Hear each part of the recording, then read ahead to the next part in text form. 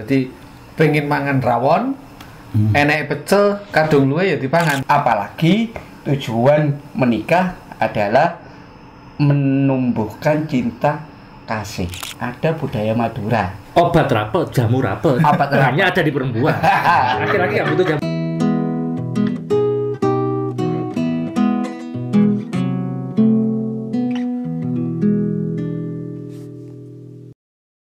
Sama-sama benda tumpul kalau de- apa ridho mak ridho itu menjadi kenikmatan bersama tapi Dan benda- kekerasan itu butuh, butuh benda kekerasan. tumpul kalau nggak ridho salah satu menjadi Lah, kekerasan makanya ya, ini kan butuh butuh ini apa namanya butuh pembelajaran psikologis yang untuk mematangkan kondisi ini. Hmm. Oke, Kiai Umar memberikan contoh suka anak dalam mohon maaf tidak bermaksud rasis yang notabene hidup di belantara hutan Hmm. Tapi bisa dibuktikan kata Kiai Umar tadi apa anaknya banyak. Hmm. Berarti kan bisa proses ini di bawah alam sadarnya itu kan sudah apa namanya sudah terbentuk sudah menjadi habitat gitu, Pak. intuitif intuitif Intuitif. Nah, Naluri. secara secara uh, menanggapi psikologisnya dulu maksudnya uh, apakah memang ada strata psikologis untuk ini pak untuk untuk Usia. ya untuk satu usia nomor dua biar menjadi apa berakal juga sehat. Maksudnya dia sadar melakukan hal ini adalah dalam keadaan sadar. Maksudnya sadar tidak menyakiti sadar ya mohon maaf naudzubillah min dalik sadar daripada eh, perlakuan dosa dan juga sadar bahwasanya akan menjadi tanggung jawab iki lek dadi benih iki yo iki memang Tanggung benih saya loh itu itu itu lebih penting pak. Karena yang beredar di masyarakat hari ini ini terjadi pak. Ketiganya itu terjadi. Secara psikologis eh, mungkin oke lah eh, pada skala tertentu tidak mencapai angka 100 secara psikologis. Nomor dua tidak dilakukan secara mungkin kondisi akal yang sehat. Mungkin di bawah pengaruh tertentu. Ya, apa atau di obat. saya tidak menyebutkan eh, apa tapi bisa berupa intuisi atau bayangan tertentu atau di bawah kondisi pengaruh obat tertentu atau di bawah minuman tertentu. Dan yang nomor tiga pak yang sekarang ini terjadi itu banyak melepas tanggung jawabnya. Dengan sadar mereka mengatakan gak tidak anakku. Satu. Ini langsung. Yang tidak langsung setelah anaknya lahir yo gak diudik gak apa. Berarti kan ada penyesalan. Ada penyesalan. Berarti kan sama-sama jahatnya gitu. Loh nah ini bangunan eh, yang harus kita berikan itu bangunan psikologisnya itu loh. Maksudnya treatment atau trialnya yang mana ini biar menjadi apa namanya eh, ya tidak menjadi kejahatan gitu loh.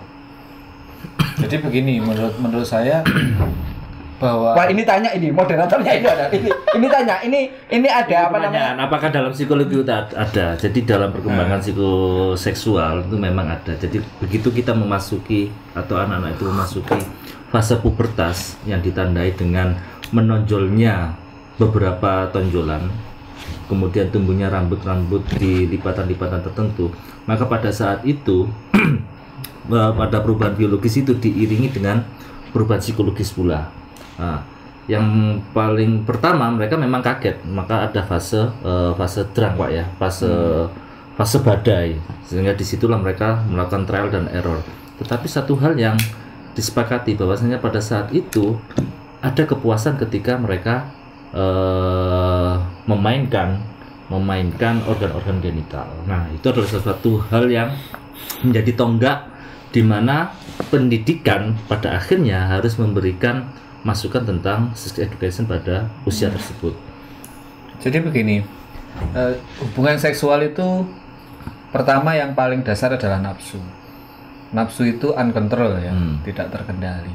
Tapi yang nomor dua adalah estetika. Ini kan estetika. betul Jadi usia yang belum matang mungkin masih didorong oleh kekuatan nafsu itu sehingga tidak ada estetika. Artinya siapa pun yang kemudian punya dorongan nafsu dia akan lampiaskan tanpa mengendalikan siapa lawannya. Yang penting puas. begitu. Meski kambing, Nah. Pada akhirnya ada eksplorasi pokok bolong, kambing. bolong. Nah, jadi proses pematangan seksual itu tidak semata-mata kita itu mengenali nafsu saja dan kemudian melampiaskan. Nah, mungkin dalam konteks usia kematangan seksual adalah estetika seksual. Hmm.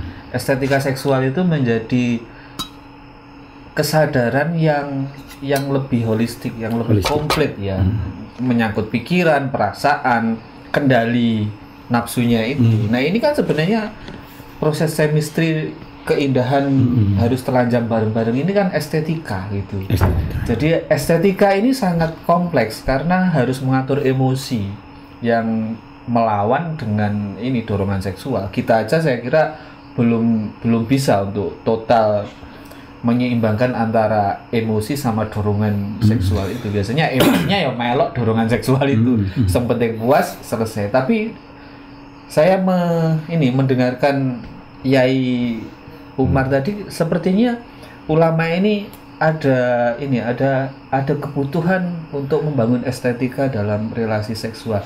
Yang ini kadang yang ini kadang dilupakan gitu.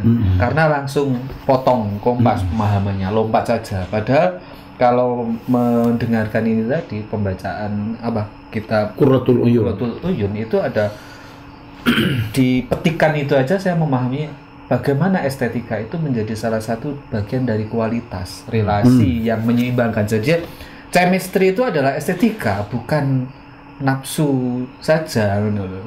Tapi kalau masa mungkin masa usia 18 itu kan transisi ya.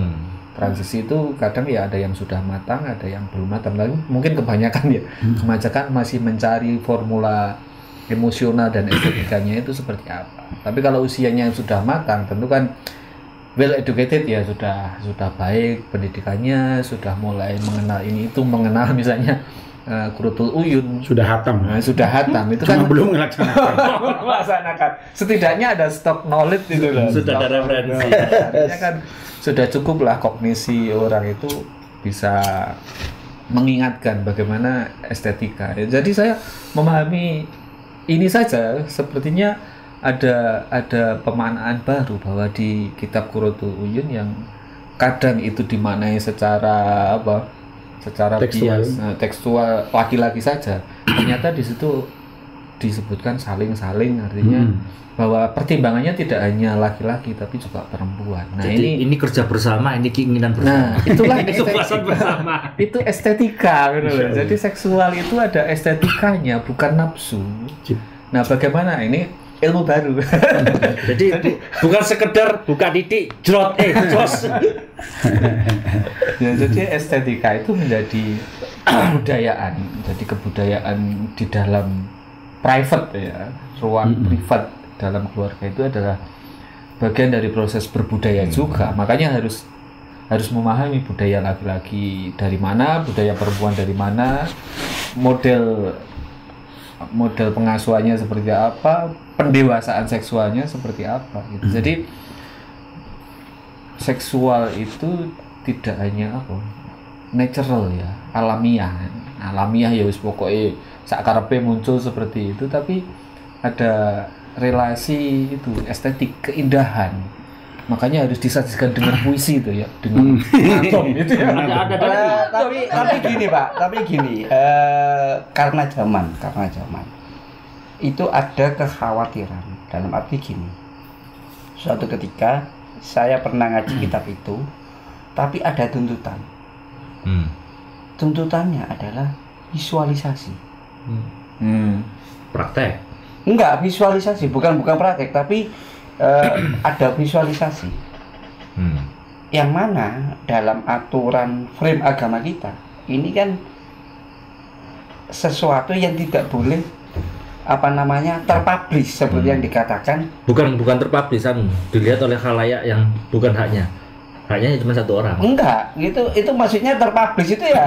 Ya tidak boleh ada perekaman kan? Segala enggak boleh lah. Segala macam bentuknya itu itu enggak boleh Eh, mungkin mungkin ada ada kaitannya kenapa Sayyidina Ali itu memiliki titel karomallah wajah karena diriwayatkan dari berbagai banyak riwayat adalah salah Tidak satunya keistimewaannya tidak pernah melihat Kemaluannya. kemaluannya. Ya, ini adalah eh, sebuah mungkin eh, mazhar dari Allah Subhanahu wa taala. Tapi eh, hari ini kondisi yang sekarang ini eh, saya pernah menyajikan di kelas 10 eh kelas 1 SMA itu berapa? Kelas 10 kelas 10 itu ada yang usil tanya saya.